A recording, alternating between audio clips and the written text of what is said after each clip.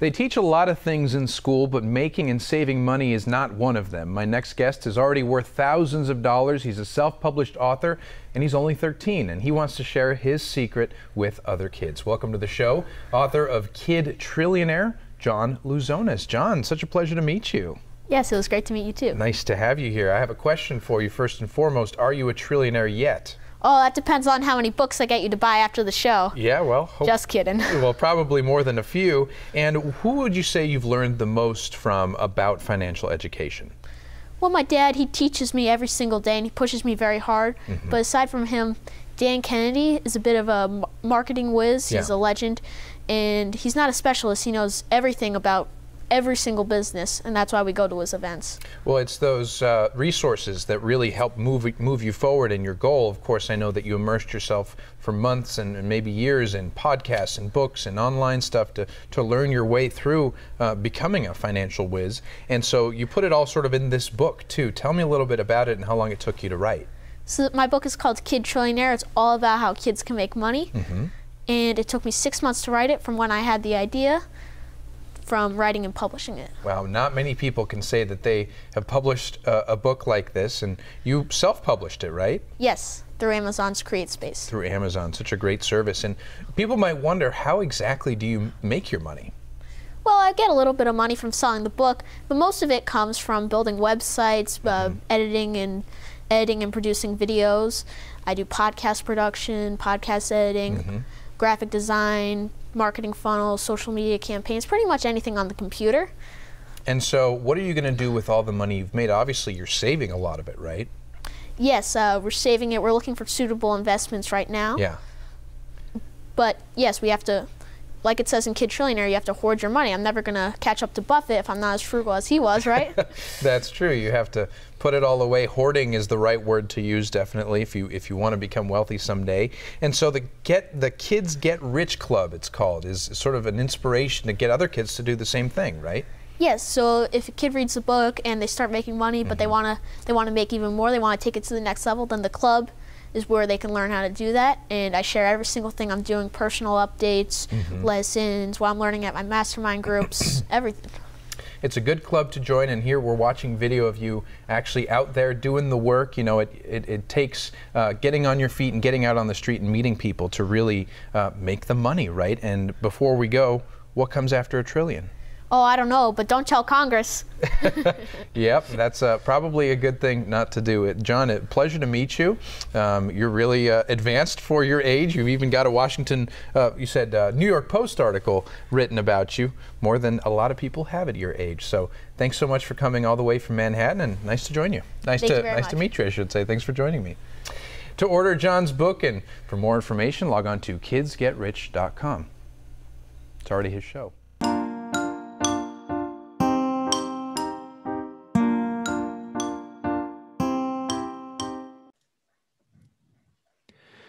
Hello, everybody, and welcome to Peaceful Anarchism on the Voluntary Virtues Network on theconsciousresistance.com and theseedsofliberty.com. So, Peaceful Anarchism is covered by the BIPCOT No Government License. This allows reuse by anyone except for governments and the agents thereof. You can find out more information for this at bipcot.org. So, today I am delighted to have on the show John Louzonis, author of Kid Trillionaire book and host of Kids Get Rich podcast. Um, and I just wanted to say that I've been following uh, you, John, for quite a while, uh, and I heard about you through the Tuttle Twins. Um, Connor Boyack, he he mentioned that he bought your book, and he really impacted his um, son, and so I got it, and I love it, and my kids have been reading it, and and uh, I think these are great things to um, you know in, in, in um, introduce to kids at a very young age. You know, so yeah. So John, uh, welcome to the show. Hey, thank you for having me. Yeah, so yeah, so let's get right into it. Um, so first, we'll start with um, explain to the listener a little bit about yourself, um, how you got on this journey of becoming an entrepreneur, and what books or personalities um, influenced you along the way. Yeah, so when I was about ten years old or so, I really wanted some money, and my parents they've never given me an allowance, but you know I was I was able to scrape by on Christmas money and birthday money. though, really, because when I was little, I didn't want very much. But as I got older, I wanted more and more things, and I had less and less money. So I want some money, and my parents aren't giving it to me. And if I wanted something, I had to figure out how to get it myself. So about that time, I was living in London, and I had been learning how to code that year. I had been spending a lot of time learning how to code, build websites. I was helping my dad build his website a bit. And there's a cafe down the street, and it was like super famous, not famous, but super popular. Like every every day after school was over, it was packed. It was like rated on TripAdvisor, one of the top cafes in London. But it didn't have a website. So I went up to the owner, Matt, and I said, Hey, Mr. Matt, do you want me to build you a website? And he said, Sure. And I built him one, and it took me didn't take me long at all, just like a couple hours worth of work. I built it on Wix.com, and he paid me 40 British pounds, which I think at the time was around 60 bucks. And I was so excited because I had never made money like that before. I don't remember why I spent it. I probably wasted it on some junk, but it was life changing. That's not important, right? yeah, I, I, I literally don't remember. probably, probably Legos or whatever. And it was life changing though because I never I never made money before. Like sure, I had like a couple lemonade stands in the past, but they made like nothing and it was gone in an instant. It was long, hard work. And my my mom would pocket most of the funds for using her kitchen, right. teaching me about taxes. And I I had never really I had never really done it before. It wasn't never that fast, never that easily. So I, I was excited. And over the next couple years, I I built more websites and I started branching out to other other work too, like podcast production. That was a big one I did, but I also did things like I, I built lists for people online. I would like scrape the web for certain leads that they that they wanted, and I put it all in a spreadsheet. And I got paid money for that, and I was learning social media, advertising, so many different things. And really, that was what got me interested in business and working for yourself and having clients. So let me ask you: um, Did you come from a, a, family of entrepreneurs, or are you the first entrepreneur in your family? So my mom, she's worked at uh, Bank of America for as long as I've been around. My dad, he used to trade derivatives on the Philadelphia Stock Exchange, and he still trades stocks. Uh, but after a while, he didn't really do it so much anymore. But around the same time that I started getting interested in business, he started getting interested in business too. Hmm he wanted to he wanted to help other parents raise their children. So we're we're both learning entrepreneurship together. Wow, that's awesome. That's awesome. Yeah. Um, yeah, the idea of teaching kids about entrepreneurship and business and economics and what is money, how to make money um, is so important. And and that's one thing that you mentioned in your book that it's not taught in school. I mean, it's good. It's nice to learn about history and math and science and you know that kind of stuff it's nice but the thing is i think the goal of most parents is for their kids to be um, self-reliant and independent right? And they just don't teach that in the school. It's like it, i think the value of a government school education is um, is displayed when after they graduate after 12 years of being there all their worth is a minimum wage 750 an hour job in the in, in that's all their economic worth is. And how tragic that must be do, you find this what do you think about that? Yeah i mean it's they, they teach they teach about mitochondria and whatnot but they don't teach uh, how to how to forget forget even how to make money. They don't even teach like how to do basic tasks like uh, not not go into debt and stuff like that. They don't they teach they teach things that only useful for certain certain people. Right, right. So yeah, that's one um, definite criticism of the government schooling. And like like uh, like you, um, we are a homeschooling family. I have a ten year old and an eight year old, um, ten year old uh, boy, eight year old girl, and we've been homeschooling since 2014. Um, and you are also I know so I know you're a homeschooler, but this is also another thing. Whenever I see a successful uh, child doing whatever, it doesn't matter what it is, could be programming, could be acting um, you know, could be music. Um, nine times out of 10, they're homeschooled. Because it's yeah. like, if they're not, you know, it's impossible for a child to devote that much time and energy and resources towards mastering a craft when you have all this time wasted in government school. You know was it like seven hours a day or seven or eight at school? Then you come home you got to do more um, hours wasted for homework. And it's like when can you do anything productive with your life so uh yeah do, do, do, you, do you notice that also oh yeah absolutely we see it all the time like most of the teen entrepreneurs I highlight in my in my media, so many times they're homeschooled, like way more than usual. They're they're they're kicking butt. They're they're making a lot of money, and they're they can do this because they're homeschooled. They don't have to waste hours in school, uh, like like their peers, and so they have an inherent edge over the competition. Yeah, yeah. So okay, so let me ask you about your homeschooling experience. Um, did you ever go to any kind of school, or did your parents um, homeschool from the very beginning with you guys? Yeah, when I was little, I went to preschool for a little, like maybe like a couple months or so. I don't even remember. Mm-hmm. But I do remember this. My dad, he he's a big math guy, and he was teaching me math at home because mm-hmm. you know he traded stocks. He had flexible flexible schedule, so he was teaching me math at home when I was really little.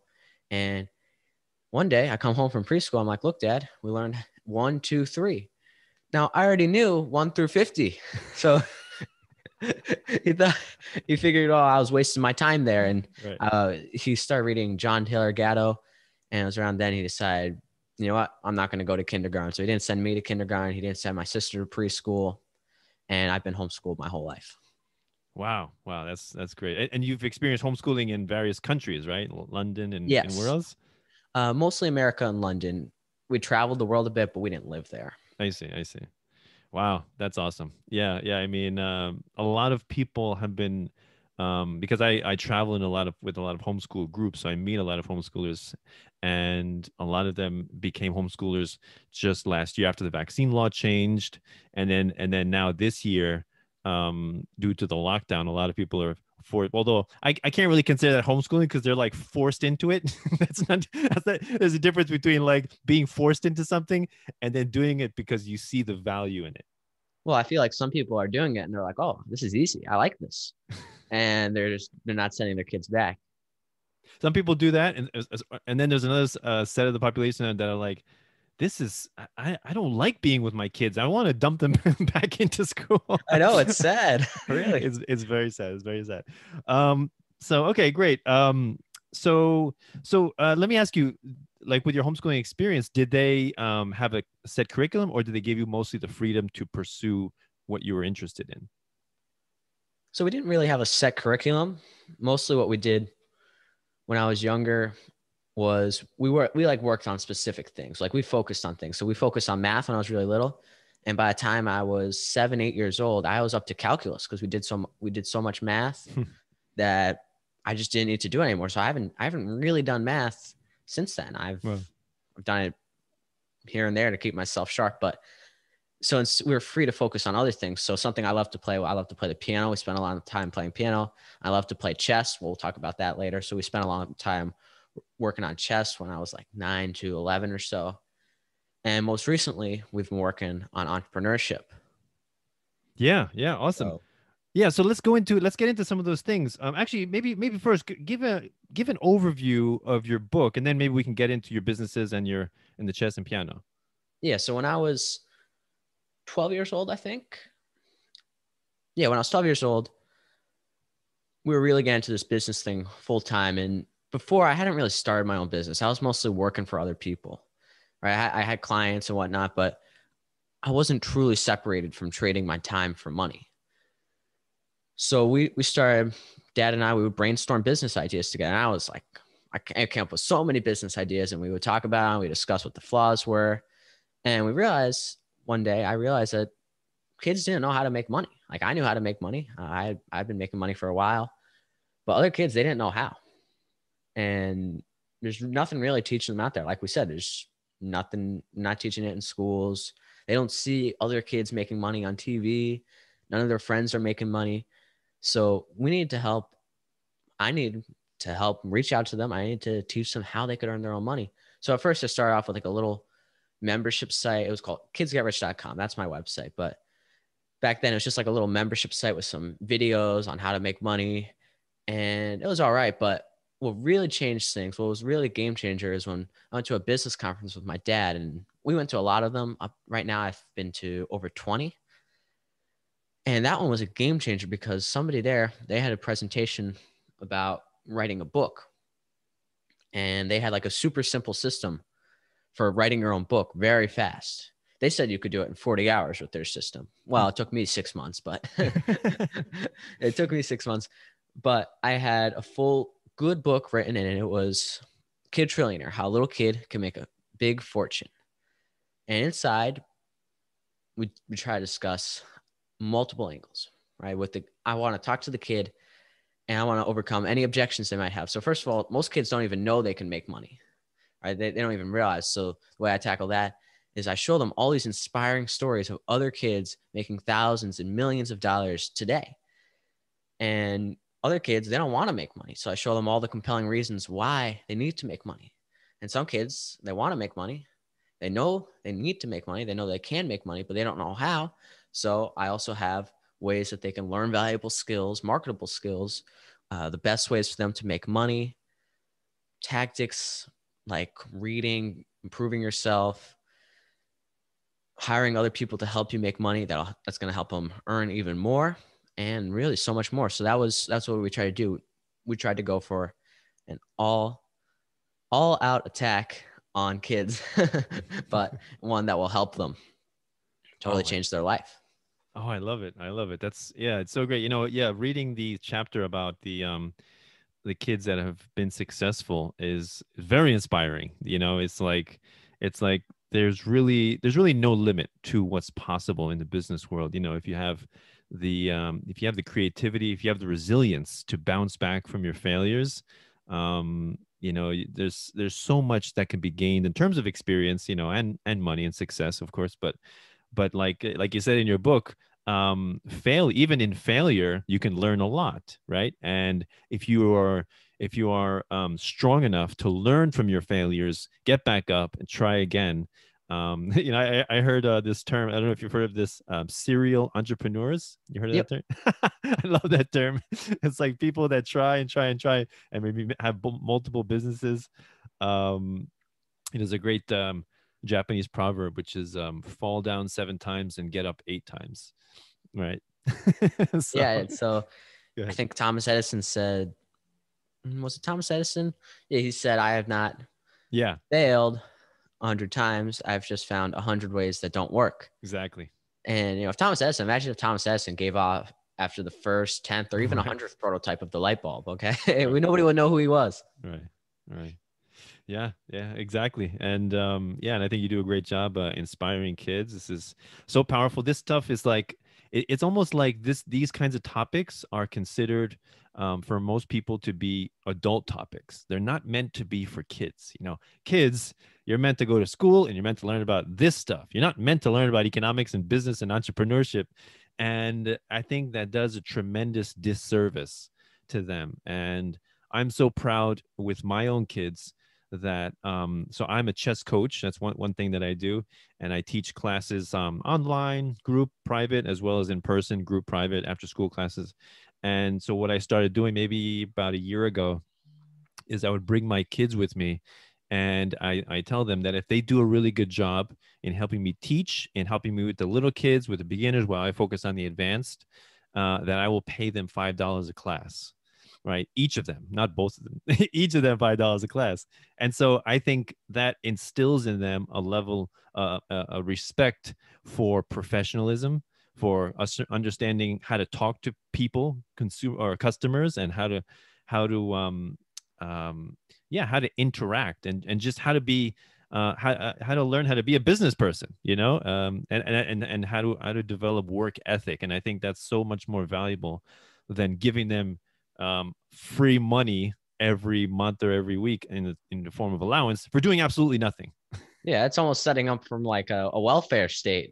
Right yes exactly exactly that's a good analogy actually yeah when you when you give handouts for doing absolutely nothing what does that encourage it encourage laziness sloth and and um so basically it's it's um it's perverting the incentive structure right whereas in the business world people are rewarded for for hard work, for making products that are cheap and high quality, right, and efficient.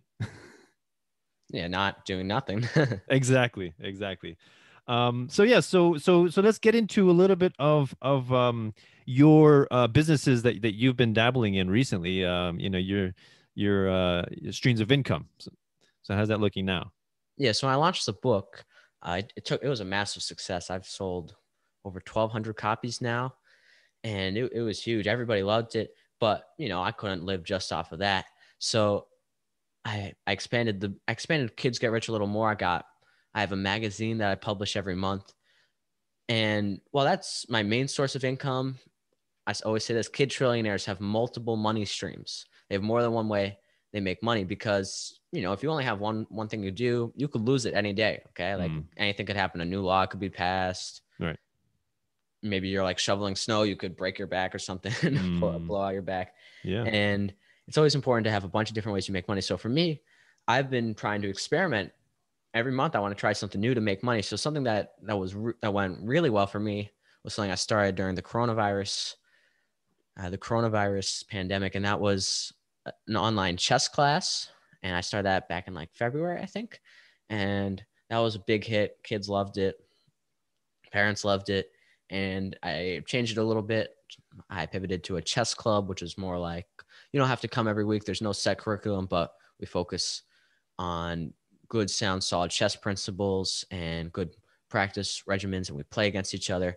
And that one parents love even more because kids they go, they want to stay after, they're sad when it's time to time to go. yeah. Uh, Hey, hey, so- hey, that's that, that's positive feedback for you, right? They, they love being there. You're not making chess boring. yeah, exactly. cool. Yeah, yeah. I mean, I mean, uh, I I really um push back when people give this assertion that that chess is boring because I'm like, you definitely have not either had the right instructor or found the right maybe website or even even just playing, you know, putting a, a, a clock, you know, adding, adding some adding some uh, some time to the game, it makes the game so much more exciting. So there's there's you know if if if somebody says chess is boring, they just don't understand the game. Yeah, they're playing it wrong. yeah yeah so oh yeah that's awesome um yeah that's great that, that's great That- yeah yeah my chess um my chess classes have definitely blossomed and boomed as a result of this lockdown so um that's another thing i, I remember in your um in your podcast you mentioned about um uh, I think there was one of your episodes called Corona Casualties. Yeah, Corona casualties.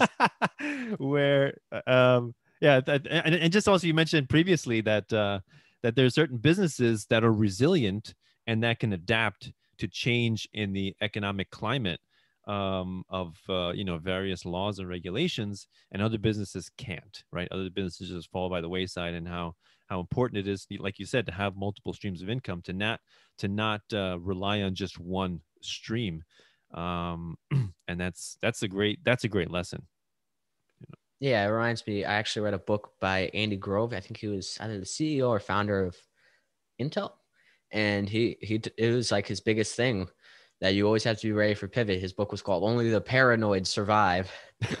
uh, you always have to be ready like for that. change. You always have to be ready for disruption, and that one that stuck with me a bit. Yeah. Yeah, yeah, yeah. That's uh yeah, that's really excellent. Um yeah, yeah, you got to be ready to pivot. Yeah, you never know what can happen and you know, you you know like you, I think one, one thing you mentioned in your book is, you know, you you you buy uh you know, you spend two hundred dollars on a bunch of fidget spinners, and, and then you, and then the market dries up, and you can't fit them all in your garbage can. Yeah, yeah. I think it was uh, Logan Paul phone cases. I think that all was that's another one. no nobody likes Logan Paul. well, I don't know. Some people do. It's crazy, crazy world out there. Right. I mean that's the other thing is is the the thing about economics and this is what i love about business okay is that um you know some people say okay it- it- that you're working for yourself okay that you're your own boss right? But um actually i don't like to look at it like that because even if you're an entrepreneur and even if you created the company you are not your own boss. The consumer is your boss. The consumer determines if you survive or fail right? The So market ulti- writes your paycheck, right? The market rates your pay. I like that. Yeah. Yeah. So you always have to be sensitive and cognizant of what people want, supply and demand, you know, where the market's going. Um, you know, you always have to be aware of that, acutely aware. And if you're not, you know, you're just gonna you're gonna you're gonna fall by the wayside. You're gonna be in the trash bin of, of economic history. so yeah, yeah, yeah, you have to remain objective to what what the marketplace wants. Uh, they they vote with their wallets. You know, they they don't they might say, oh, Yes. oh, yours is the coolest, but at the end of the day, they vote with who they send money to. you know what you know and and uh, yeah so on this show we, we discuss a little bit of uh, of uh, you know the state and democracy and and the, and the failings of those things and one thing that i often say is the only democracy i support is voting with your wallet why because it's this is what capitalism is. It's the market transactions that occur when people um, buy and sell things in the marketplace. That's the only true democracy right? There is no ruler determining which business you know aside from the fact that let's say laws don't play an exa- a role you know which they do but let's say they don't then then what really determines if a business survives or not is if you're able to please the customer right? And then they come back wanting more. They're voting with your dollars patronizing your business and ensuring that your business will survive and thrive right? And that is the only democracy because it's it, it- it survives on voluntary interaction which is inherently peaceful right? And also voluntary interaction makes the world a better place a happier place. Why? Because when you when people trade they're taking two things that each of them values less than what they're trading for right? If if somebody buys you uh, a subscription to your chess club they they part with the $40 which they believe is less valuable than the chess experience that you're giving to their kids so they're happy right and you can you can hear this when people when you go to the store and everyone's and you say thank you and then they say thank you everybody Yeah. says thank you yeah, it's everybody's happy to do it. It's a win-win for all, and that's how you know that it's a good deal if everybody's happy. yes yes and i remember in one of your podcast episodes you mentioned about disney you say disney they are like masters at separating people from their money yeah, they'll, they'll like take thousands of dollars from you, and you'll smile while they do it. it. I know. I, remember listening to the episode in, the car with my kids about about um, uh, you mentioned how they were actually getting annoyed because there are so many people were coming there. It was so congested. They're like, you know what? We got to raise the prices for this. Even was- when they they do anything. people still kept coming. That's a good problem to have, you know. That's, a, that's an excellent problem to have. Yeah, I just don't know what to do with all this demand. You know. yeah, I'll, I'll trade. I'll trade spots, Disney. I know, right? Definitely. So, uh, another, um, uh, oh, oh yeah, uh, yeah. ano- another um, point that I found in your book pretty fascinating was the idea of delayed gratification, right? And and and when you you're teaching, you- you're saying that you know if you spend all your money, you know, person can makes a paycheck and they just blow it on a lottery, or they blow it on I don't know movies and toys and video games and lattes or whatever um, and they're not investing in themselves they're not improving their skills right? They're, they're not investing in their future. Um, that is a set that is a, a you know a, setting up for failure right? So so what, what you, what's your um how would you go about talking about delayed gratification with people how that's important Yeah, so I barely spend any of the money I make. I'll, I'll spend like a little bit here and there on maybe if I'm out to lunch or something uh, at the coffee shop. But for the most part, I save every penny that touches my hands. And because I know that in the future, it's going to be, I'm going to be able to invest in something big. I'll be prepared for potentially some big opportunity. Like, you know, maybe back when the fidget spinner craze in, uh, was it 2017 or was it even 20? No, it was 2016. Oh man. I'm getting old. but in 2016, maybe if I had thousands of dollars on hand, I could have bought some of those fidget spinners and resold them for massive profit margins if if I had the money and I was aware of it. And if I was aware of it, then yeah, I would have I would have been in a good position to make a lot of money. And it's good to have it's good to have lots of cash on hand at all times for anything that might pop up.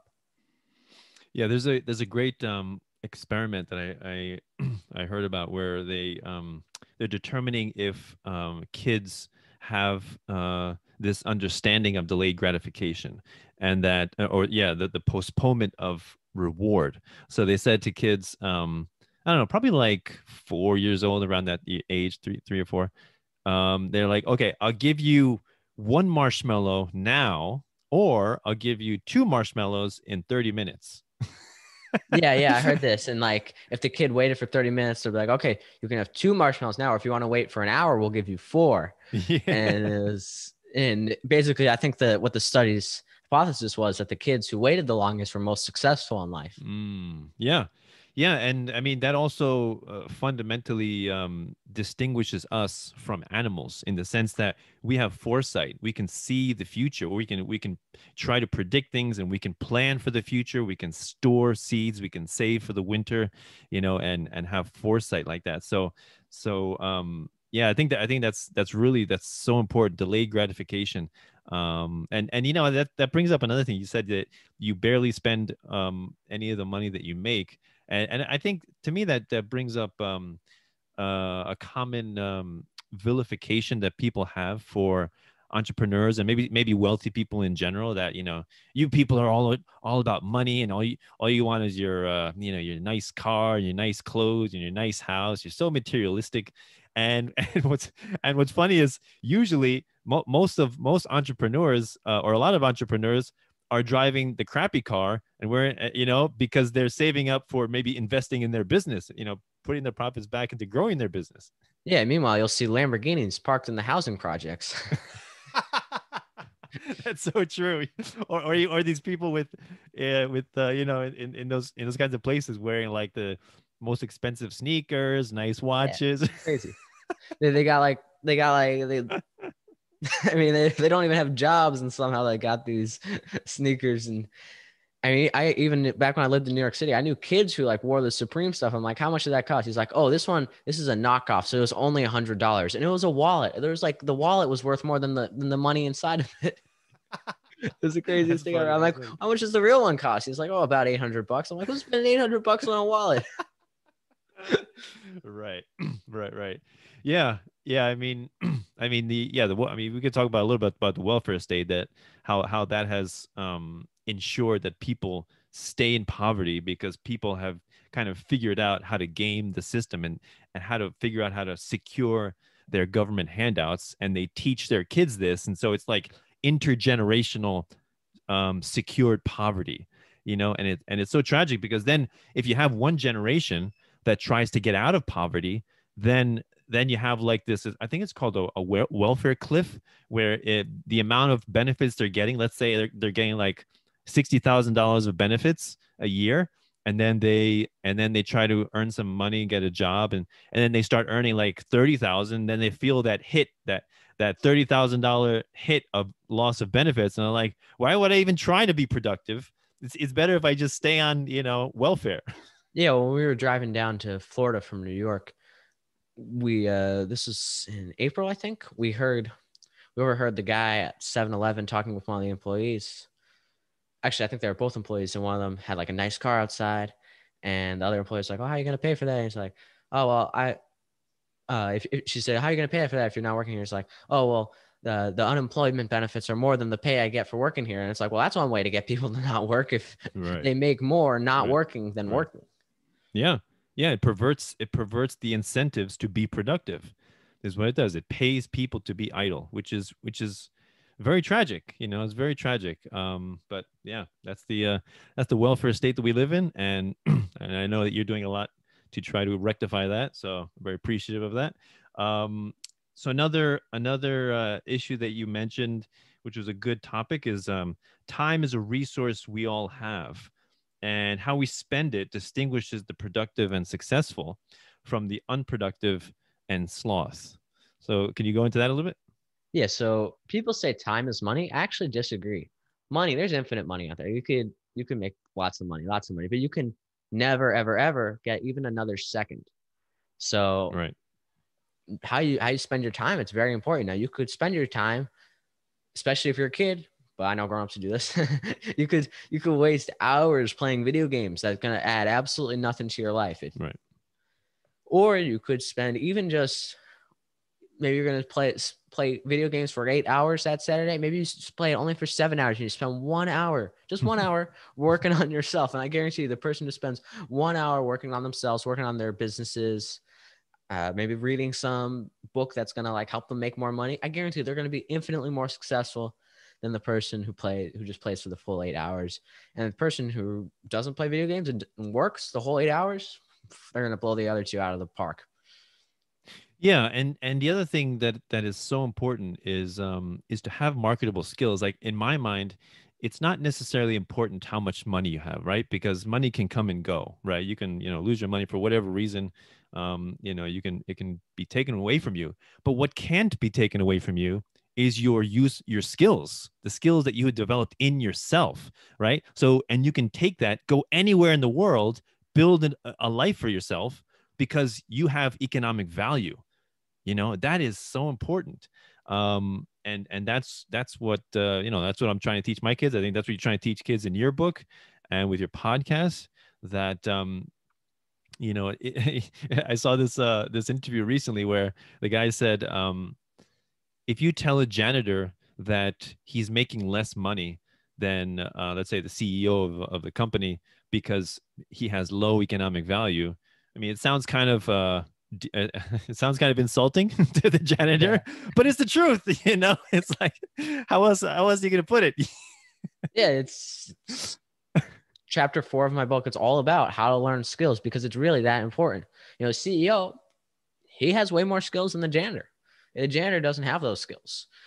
And you know, people might say, "Oh, well, the janitor is a nicer person." Well, it doesn't matter. The janitor doesn't have the skills that the CEO has, right? right. And that's why the CEO is a millionaire and the janitor is not. Yeah, yeah, that's that brings up another fascinating topic that that uh, I like to discuss is um is about prices and wages. You know, some people have this idea that when businesses offer a product for sale, they like they like pick a price out of the sky. just put it on there and like i guess it's worth $200 or or when they hire someone they just pick a wage out of the sky and say i guess i'm going to pay you 20000 a year or, or whatever. But when in fact there's um, real um, there's a, a, a, you know a, a, real mechanism that's occurring for them to arrive at that price or at that wage. And you know it's based on competition based on supply and demand based on how other businesses are doing what the market is like you know what the climate is like and so they have to be very careful what prices they put on the their products or on their or the wages for their for their um for their employees because if they don't, they're going to lose customers or they're going to lose employees.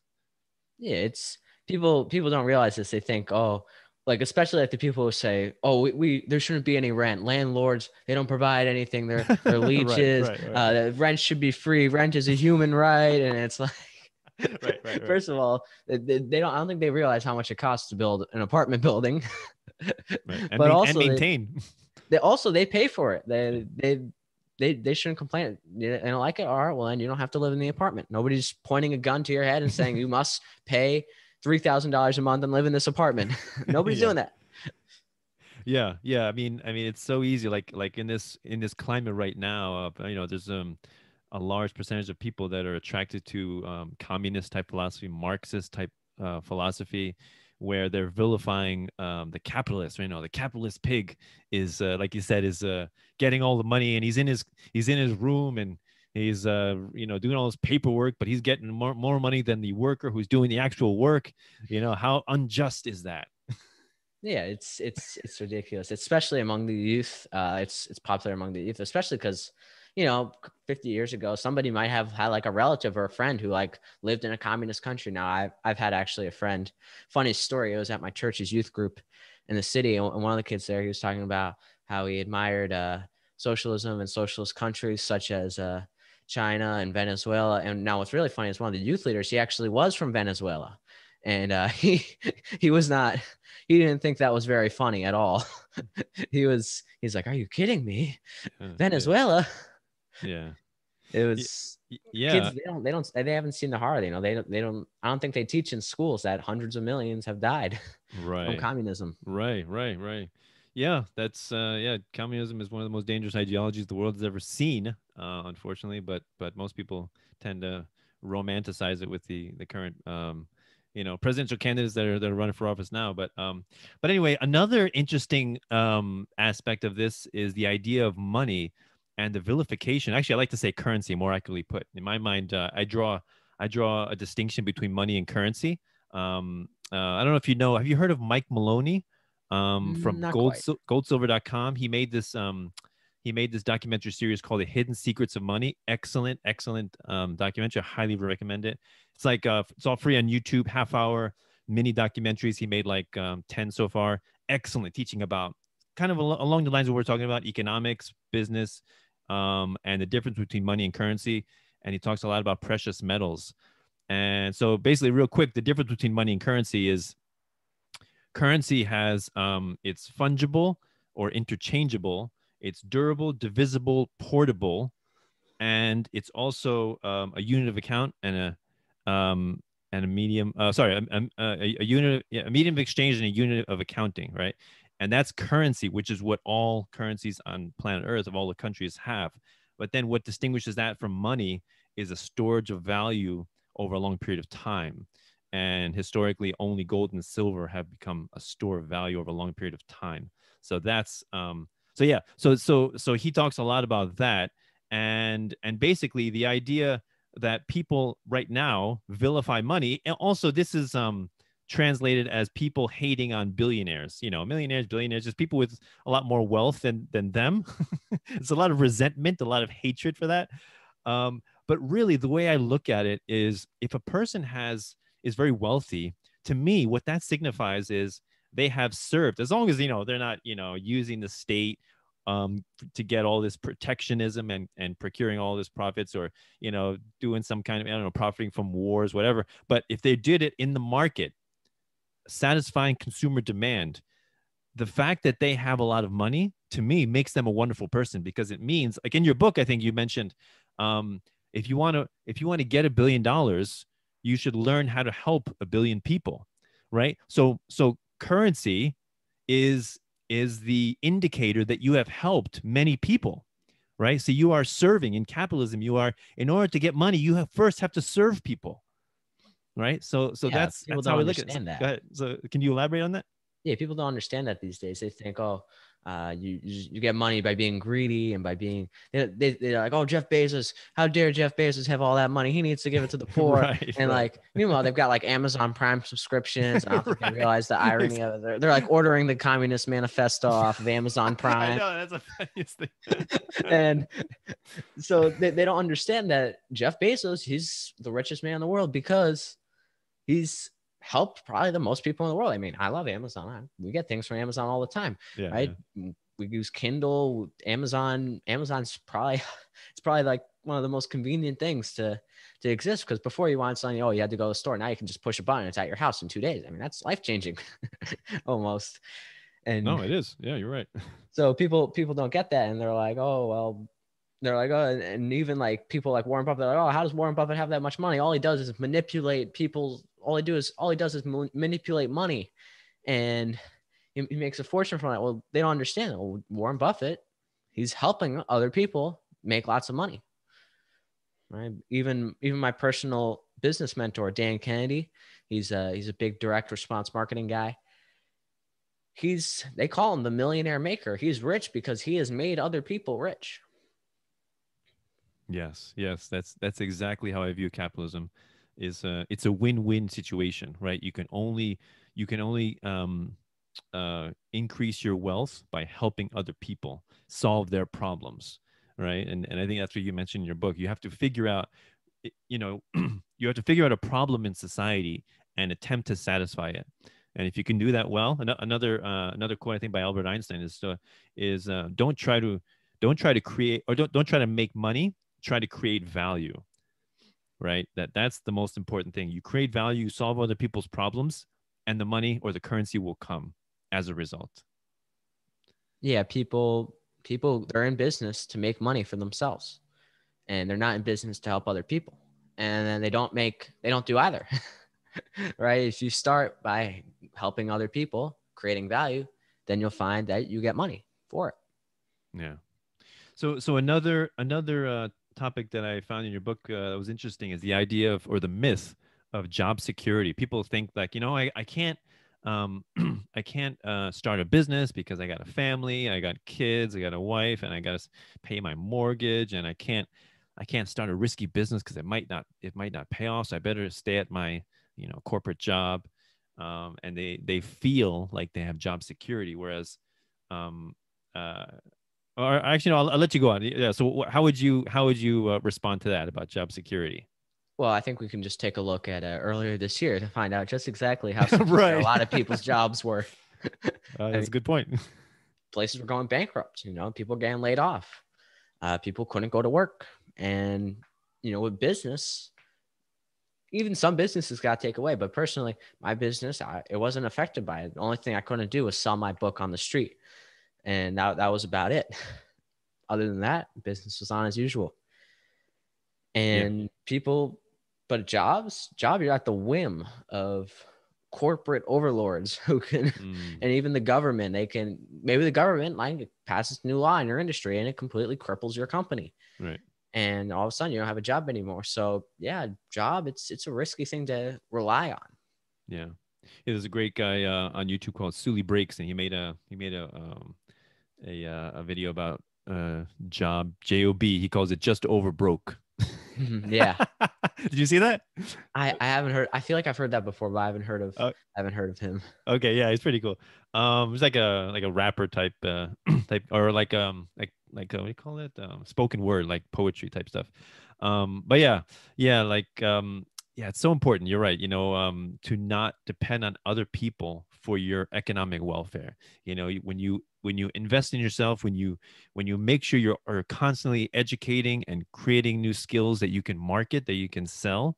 Um, you are creating your own job security you know it, it- job security going to a job and knowing it's there that is a myth and also the other thing is at the same time that people are vilifying ceos um, and business owners for being these uh, wealthy jerks is that these people are the ones that are creating the jobs for you to go. Yeah. that's the funniest. like eat the rich. They if, if the rich were gone they'd be dead. Right exactly. Exactly like like i i use iphones right? I'm very happy to use an iphone. It makes my life better. You know i have no problem that apple you know is like a multi-billion dollar company or steve jobs when he was alive was a multi-billionaire. I have no problem with that. No issue with steve jobs. Yeah. Meanwhile these people are on twitter like oh we need to we need to end capitalism. Sent from my iphone. Yeah that for my F. oh my goodness. Uh yeah. Yeah that's, i saw this one meme where it's like you see these you see these people protesting about you know down with capitalism and you know you know they got the communist sign and everything and that people like uh you know commenting on under you know if you people would just stop clicking on the free ipad commercials on facebook and you get your lives together maybe you would have some sense of what's really going on Oh yeah, it's just funny because I I don't want to sing. I don't think I have a single thing in my house that was created by communism. everything I have, the computer, the microphone, oops, my phone, everything, all the all the books behind me, this house, it was created by capitalism. Yep, exactly. The only the only way see, capitalism and civilization are synonymous, right? Go together. How how can you have a flourish uh, a flourishing, thriving civilization without free trade and voluntary transactions and and people creating value and people patronizing that value? I think Yeah, people are like, oh, it's capitalism versus communism. No, it's normal how society functions bef- versus like a false ideal that is never attainable. Right, right. Yes, yes, and my uh, my wife actually knows the intimate um, side of that because my wife is um, half Romanian, half Hungarian, and she grew up in communist Romania Mm. um, in the '80s. So so she's very much um, aware of of uh, that how that worked and how um, how much of a failure central planning is. So so yeah, awesome. Um, so let me see here. oh, there's a, another great uh, topic that you mentioned in your book.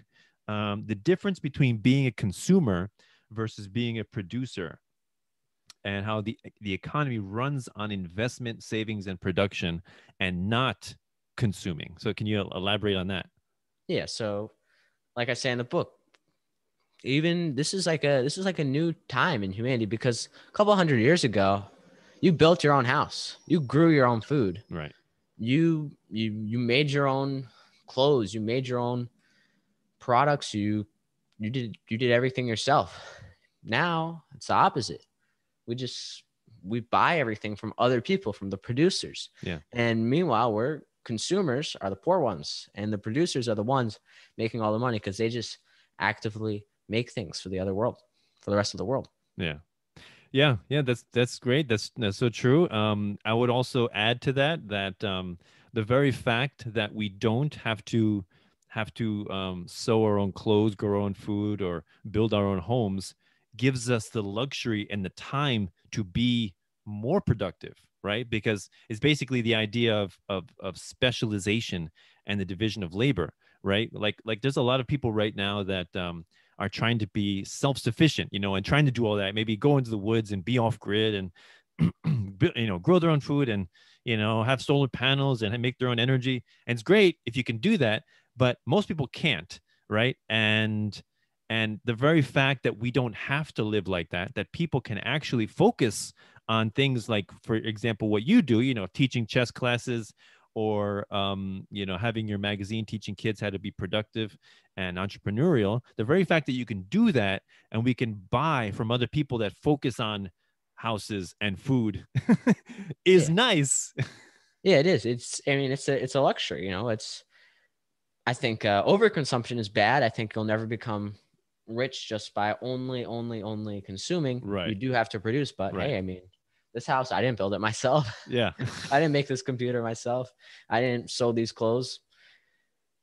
no no you're so true that that so many people focus on consuming consuming then and and they don't focus on producing themselves and and yeah that's that's the uh i think that's the real gold mine is when you when you become a producer um and and and you can see it from the other side because so many people who are consumers they begin to vilify producers and entrepreneurs and business owners as being you know you guys are sitting all the money and you're not paying us you're not paying us barely anything you evil guy Yeah, know? yeah go ahead, go ahead. No, I was just thinking how life would be miserable without all the producers. There'd be nothing. yeah yeah yeah like like people have this idea that that people who own businesses are sitting on like piles and piles of cash and they just don't want to give it up to anybody they don't want, Yeah. they don't, Yeah, like CEOs are having snowball fights with balls of cash in their basement and like right yeah and like for example okay so so talking about delegating responsibility um as being a way to be more productive for example you like in writing this book i'm sure you delegated out to someone i don't know to make the cover or you Yeah. delegated out someone to i don't know create the book print the book you know so you did a lot of delegation right yeah, I've got somebody to format it.